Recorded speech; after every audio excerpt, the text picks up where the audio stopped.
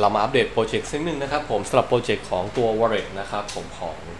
ตัวที่สำคัญตัวหนึ่งนะครับ ก็คือ Wallet Telegram นะครับผมยังไงก็ตามหลายคนอาจจะยังไม่รู้จักมันนะครับผมแต่จริงๆแล้ว Telegram นะครับผมมีเหรียญชื่อ TON อยู่นะครับผมเอ่อ Telegram on chain เดเดเดเดเดอะไรสักอย่างนะช่างมันเถอะเออแต่มันคือตัวหนึ่งนะครับผมที่พยายามสร้าง wallet ขึ้นมาเป็น support นะครับผมซึ่ง เรามาทำลองทำให้ดูนะครับว่าเป็นยังไง อันนี้คือผมกดเข้ามาแล้วนะครับผม แล้วก็นี่ open wallet นะครับ เปิดเป๋าเลยนะฮะ มันจะมีรูปแบบให้เราดูนะครับผมว่า เอ้ย ความรวดเร็วนะ easy ง่ายมากคริปโตเป็นการสร้างที่ง่าย bitcoin USDT แล้วก็จอนกอย low fee นะครับผม แล้วก็ความปลอดภัยเป็นระดับต้นๆนะครับผม นี่ top up bank card trade P2P deposit crypto from another wallet อันนี้เราแล้วแต่เรานะครับผม แล้วแต่เราเลยอันนี้เราก็จะได้ต้นการ์ดนู่นนี่นั่นนะครับผม search wallet อันนี้เราสามารถย้อนกลับได้นะหรือ later ย้อนหลังก็ได้นะครับ ซึ่งเมื่อเราทำเสร็จปุ๊บเนี่ย เราก็ได้แล้วฮะเนี่ยฮะประเด็นคือเราสามารถขายได้ด้วยนะฮะส่งได้นะครับผมนี่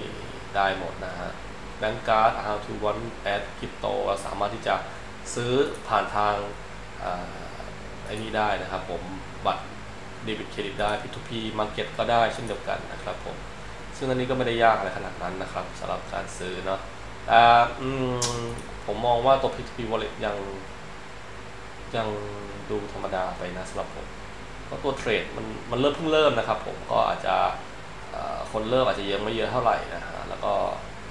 น่าสนใจอยู่เหมือนกันนะครับสำหรับใครที่อยากจะมาลองขับเริ่มขายดูนะครับผมแล้วก็คนขาย คนขายก็เยอะประมาณหนึงนะครับผมแต่ตอนนี้รู้สึกคนขายจะมีแค่สองเจ้าต่อวันเนี่ยอ่าฮะโดยรวมๆประมาณนี้นะครับผมแล้วก็ผมยังไม่เห็นข้อเสียอะไรแปลกๆประหลาดๆนะครับ ก็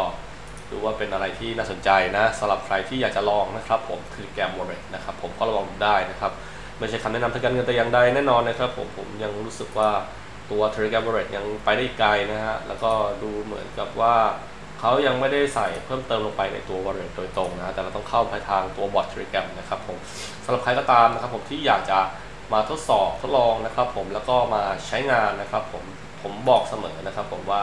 เอ่อเราอาจจะยังไม่ได้ถูก ใช้งานแบบเต็มประสิทธิภาพนะครับผมแต่ผมมองว่า นี่คือตัวหนึ่งนะครับผมที่คุณสามารถที่จะ ใช้งานมันได้แน่นอนนะครับในอนาคตนะครับผม